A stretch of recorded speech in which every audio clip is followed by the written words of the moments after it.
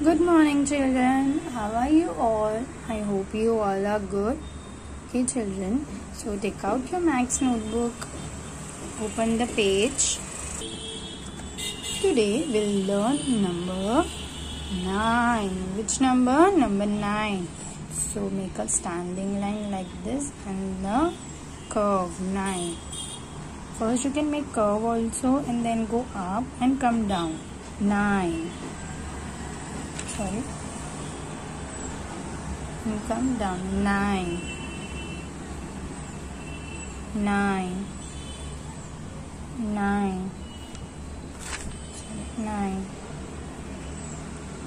Nine. Nine.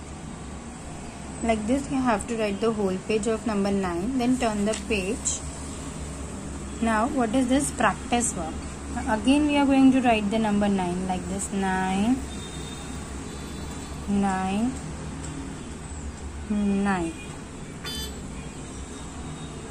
9 9 9 9 9 9 like this again you will write this whole page of number 9 then come to the next page that is number 10 what is this? Number 10 so we'll write number 10 standing line 1 and 0 that is 4 1 0 10 1 0 10 1 0 10 1 0 10 1 0 10 one zero ten. one zero ten. one zero ten. Okay like this again you will write this whole page. That is one or two line only left. So you have to write then turn the page.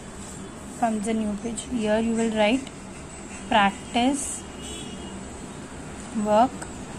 Again you will write 1 0 10 1 0 10 1 0 10 then again you will write down 1 0 10 1 0 10 1 0 10 like this you will write okay and complete this. Okay children thank you. Bye